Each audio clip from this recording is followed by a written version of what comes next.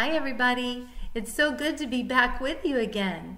I miss you all and I can't wait to see you again. And so, hopefully, in the near future, we'll be together again. But until then, I would love to read this story to you. It's called Brave as Can Be A Book of Courage. And it was written by Jo Witek. And these adorable illustrations were done by Christine Roussey. When I was little, I was afraid of everything. Little creaks and squeaks and booming thunderclaps. Teeny creepy crawlies and monstrous pointy fangs. I had a pile of fears as big as a mountain. Ooh, goodness gracious, that is a big mountain. And when I was scared, I would shiver as if I was outside in the snow. I would shut my eyes tight and I'd clap my hands over my ears.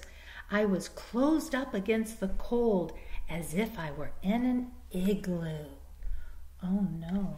And so sometimes when you're scared, you want to just get a nice comfortable blanket and just kind of hide. I used to be scared of the dark where there was a was there a monster lurking in the shadow? But now I have a bright nightlight and my super powered pajamas, which are a hundred percent danger proof. So we've learned that she's no longer afraid of the dog. The neighbor's dog can be scary too, with his loud barks and his thousands of teeth. My mom says the dog is just saying hello, Holding her hand tightly, I say hello right back. So the little girl is practicing safety. She's grabbing mom's hand when she was afraid. That's a great choice. Once I let go of mom's hand and poof, she disappeared. Oh no! But I didn't panic.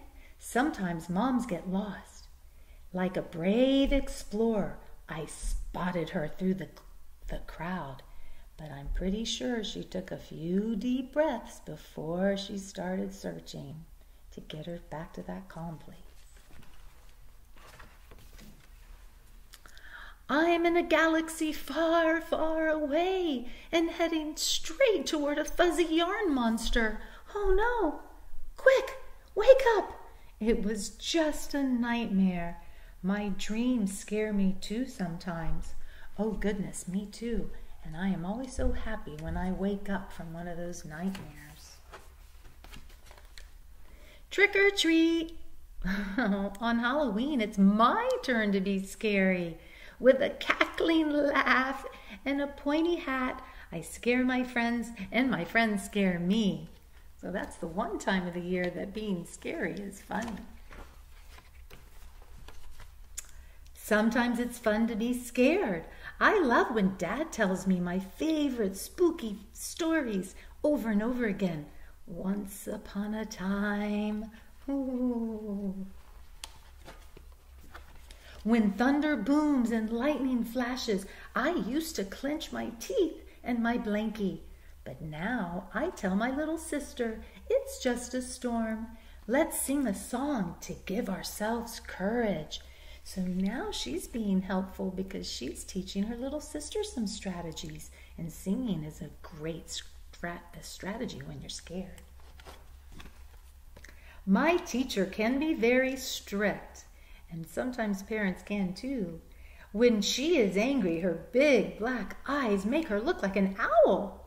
But that's my own special secret. Imagining her feathers makes me feel brave. Well, we all get angry sometimes. And so that does present times when we're a little bit afraid when our friends or our teachers or our parents are angry with us. So we have to be careful.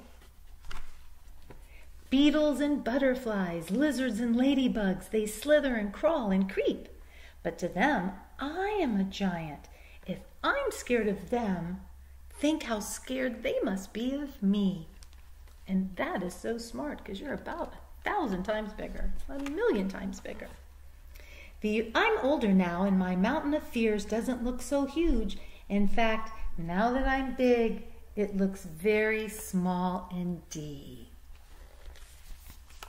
That's our Brave as Can Be, a book about courage. Hope you guys have a great day. Look forward to talking to you later about Brave as Can Be.